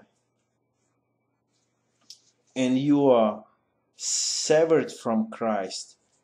You who would be justified by the law, you have fallen away from grace. So keep keep keep have that beard. Justify yourself by that beard. Say, say that you're, you know, doing this in the name of the Lord. Whatever. I don't care. For you were called to freedom, brothers. Only do not use your freedom as an opportunity for the flesh, but through love serve one another.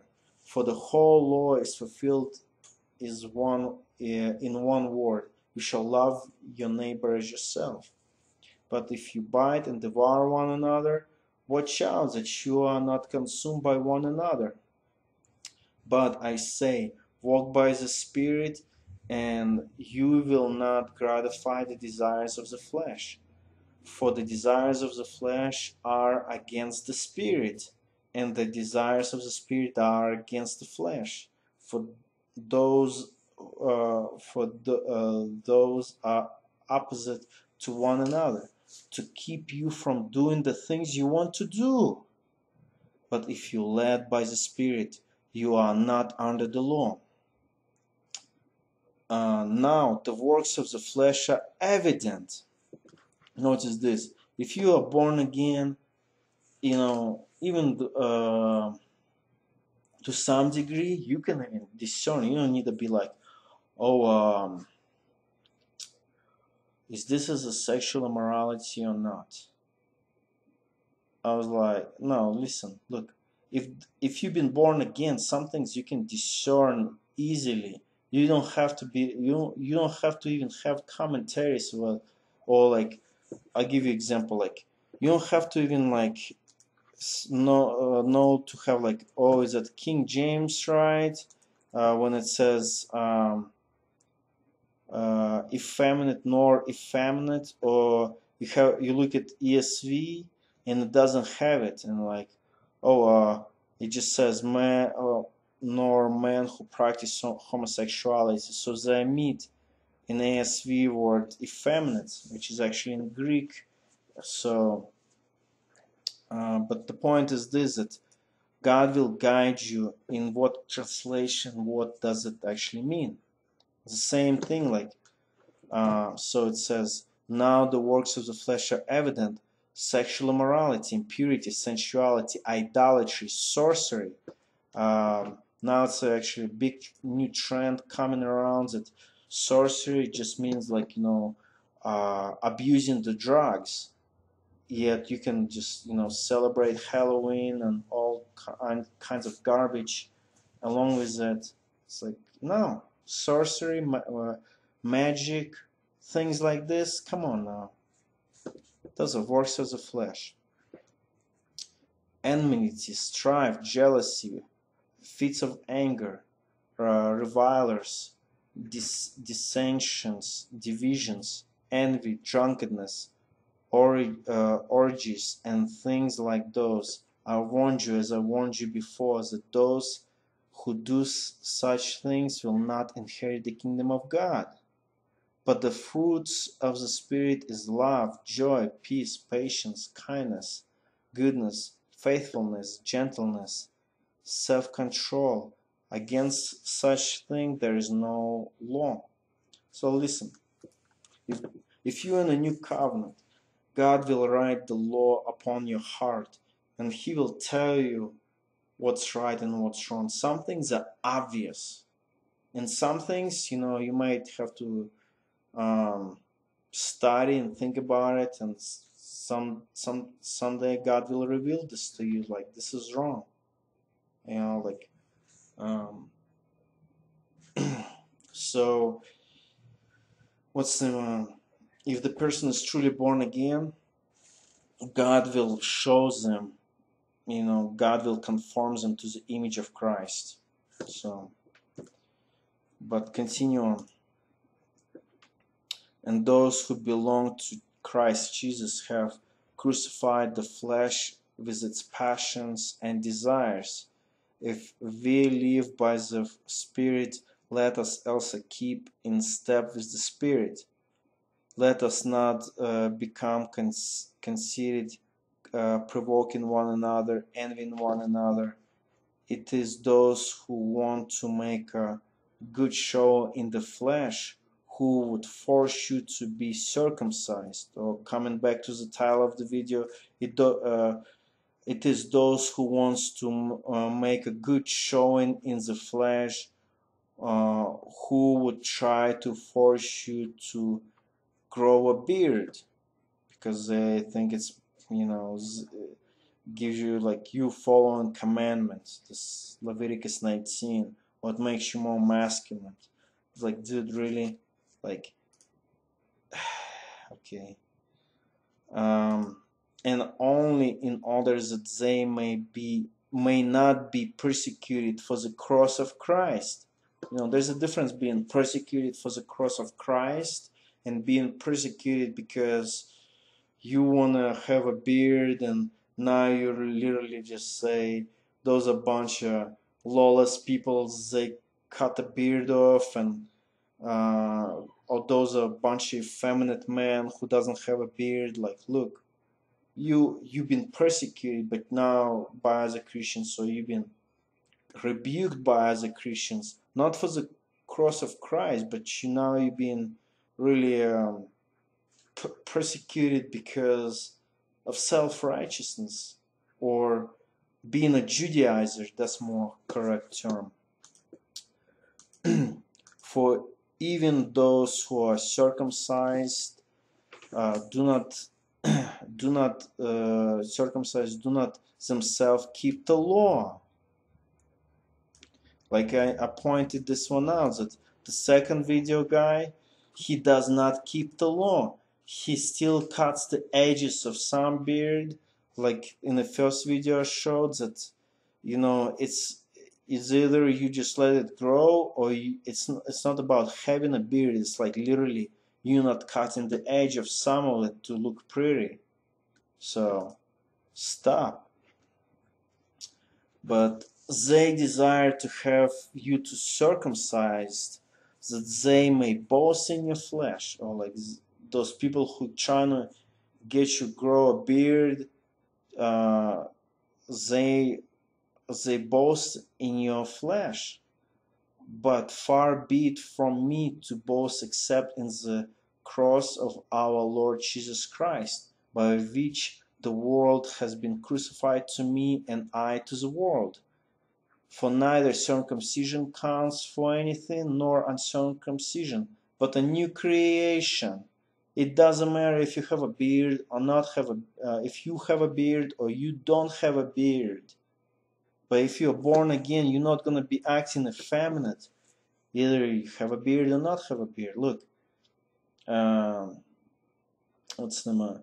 You telling me like uh, many men in the military who at least claim to be christians are effeminate because they don't have a beard I mean, are you joking? Come on, Mario.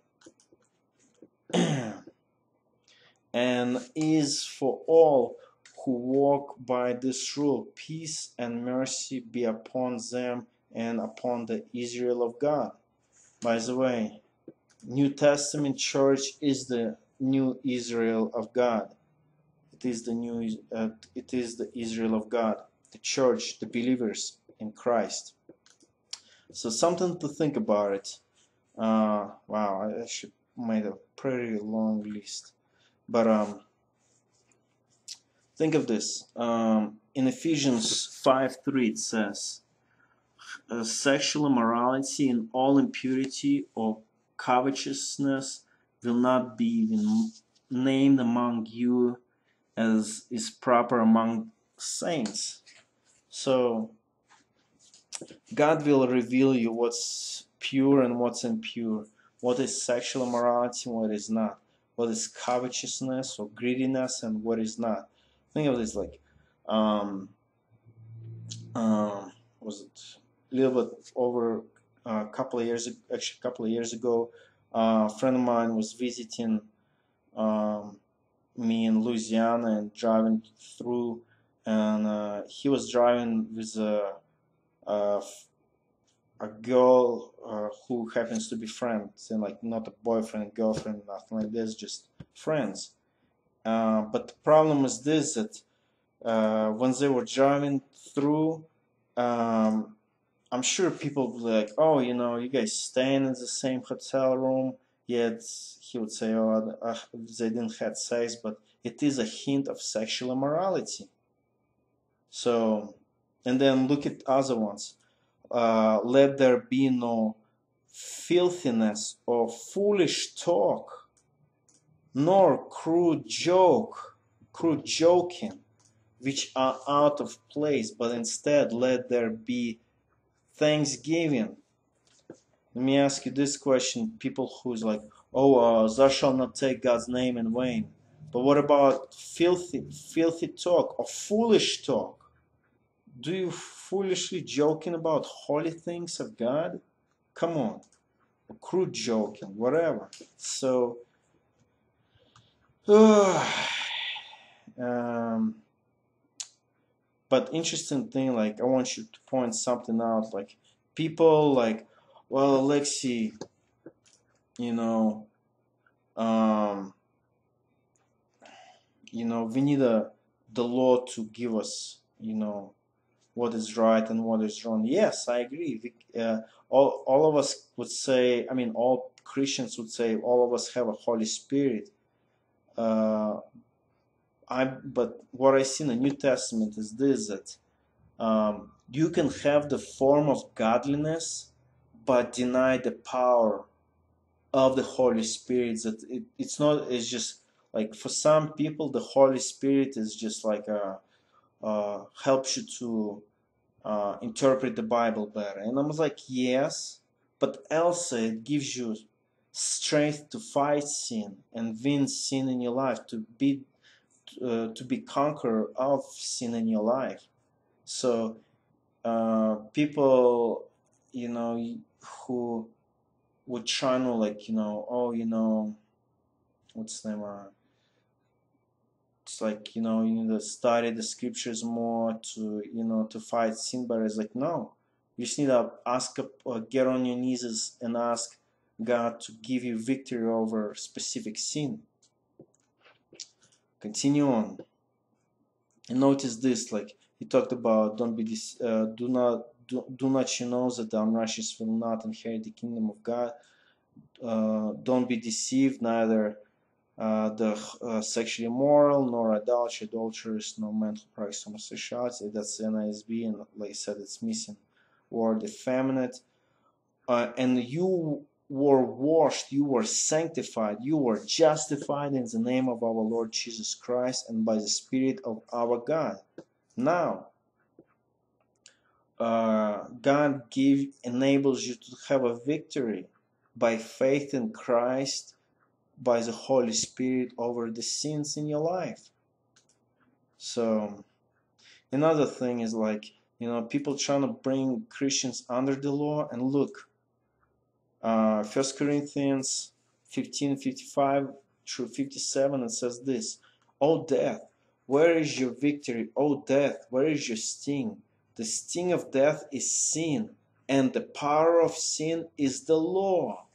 But thanks be to God who gives us the victory through our Lord Jesus Christ. See, like the power of sin is the law. So if you want to sin more, just put more law on it. Just write, "Thou shalt not commit adultery" in every ver, every uh, corner of your house. But uh, it's not going to help you. It's actually going to cause you even more. So how you want to have a victory over sin is through Lord Jesus Christ. He is our mediator.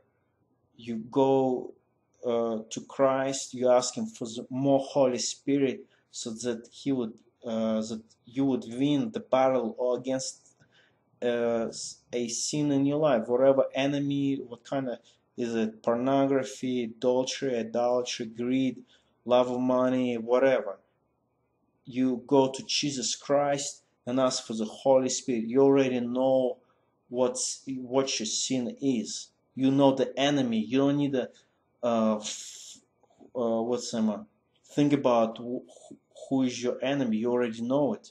Now you need the uh, the general or the captain of your salvation to come and kill that sin. And the vic- how are you gonna have a victory over over that sin?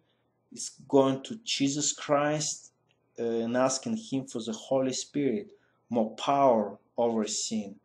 But the problem is that that many Christians, I used to be a part, uh, some do the same mistake too. Like, oh, I need to meditate. What's, uh, you know, adulteries? you know, what's the sexual immorality? No, no. You already know that you already have sinned.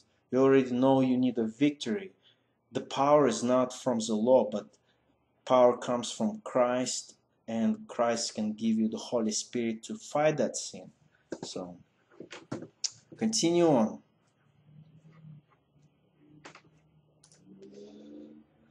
Second Corinthians chapter 3 verse 4 such is the confidence that we have through Jesus through Christ towards God not that we are sufficient in ourselves to claim anything as coming from us, but our sufficiency is from God, who has made us sufficient to be ministers of the new of a new covenant, not of the letter, but of the spirit. For the letter kills, and the spirit gives life.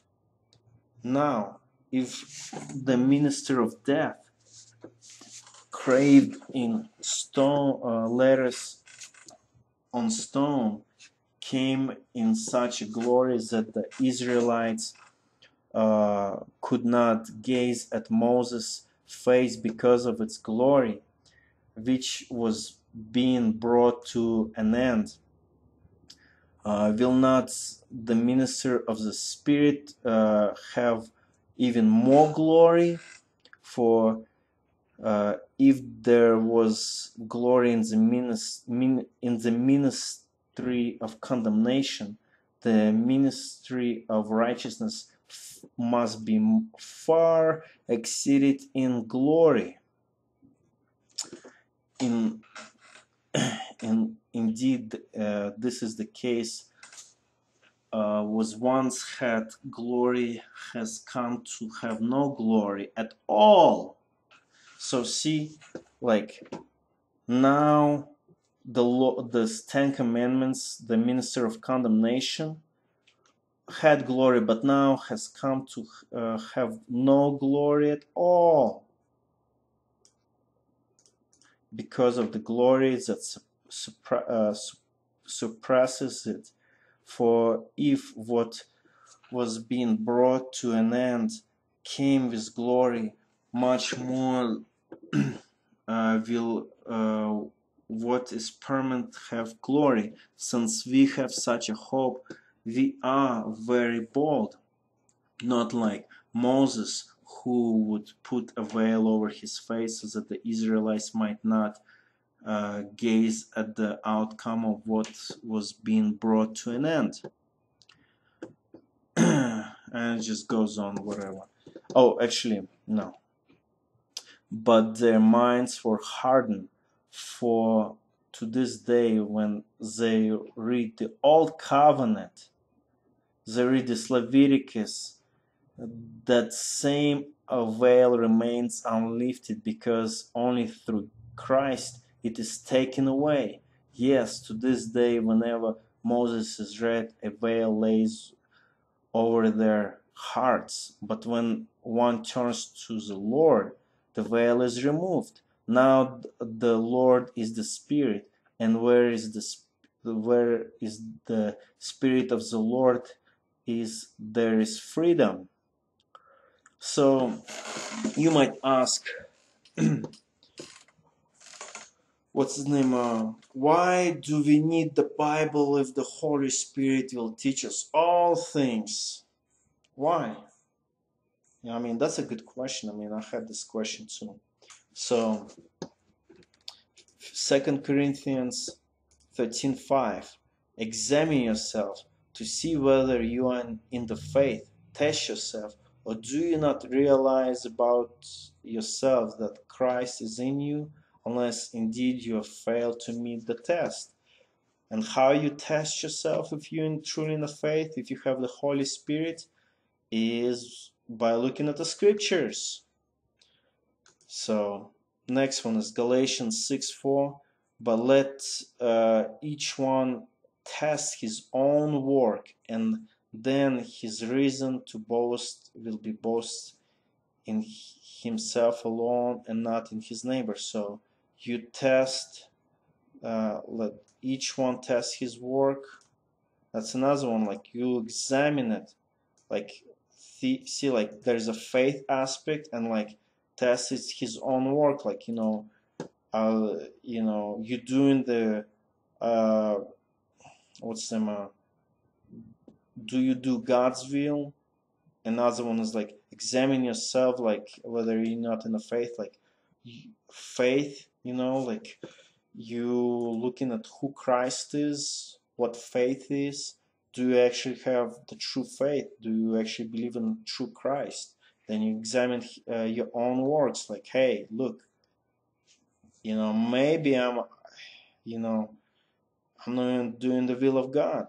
Maybe I'm doing the work of Satan. Then you test it, like just like Peter. Think of this: Peter was like, uh, in one minute, like, oh, you are the Son of God, you know uh, but then another minute, well, far be it from you, Lord. And then uh, Christ told him, uh, the, uh, some, uh, get behind me, Satan, you, for you have the, um, you have in mind the, um, what's some, um, concerns of man and not of God, something like that. So you examine do you do do you actually uh, because sometimes we have this uh, in doing something in the name of God yet God does not please so I hope you understand next one is first John 4 1 beloved beloved do not believe every spirit so do not believe everything but test the spirits uh, to see whether they are from God for many false prophets have gone out into the world. So you would, God gave us the scriptures so you would not be deceived and you would be able to test it. Then it's like talks about faith that we proclaim, faith, uh, word of faith that we proclaim, and like, um, even if you confess with your mouth Jesus is going to be in your heart, for with the one for with the heart one believes and is justified, and with the mouth one confesses is saved. For the scripture says, Everyone who believes in him will not be put to shame. For there is no distinction. Uh, no? And calls on his name. How then uh, how then will they call on him in whom they have not believed and how, and how they will believe in him of whom they never heard, and how are they to hear without someone preaching? And how are they to preach unless they send? Uh, how beautiful are the feet of those who preach the good news. By the way, how do you know this good news, the gospel of your salvation is the right? you check in the scriptures because by but but they have not all obeyed the gospel for Isaiah says so like you have to have knowledge of the gospel you have to know what it says what is written so you search the scriptures for yourself to see if it's so so so that's another aspect why you need the scriptures so um so faith comes from hearing, and hearing through the word of Christ. So notice, if you don't know what Christ said uh, in his Gospels, you know, how you know it's, that's the truth. Another one, Jude 1 3, Beloved, although I was very eager to write to you about our common salvation, I found it necessary to write uh, appealing to you to contend for the faith that was once given uh, was uh, once uh, that was once for all delivered to the saints. No, so there's another. I mean, there's a lot more to it. Why we need scriptures, but those like, you know, if those like basic things that I can think of why we need scriptures uh, even in a new covenant why we still need to study those are major things so I hope it helped so and leave a comment if you have some um, something to say and rebuke me I'll glad, gladly accept a rebuke if you can show it from scriptures. That's it. Have a nice day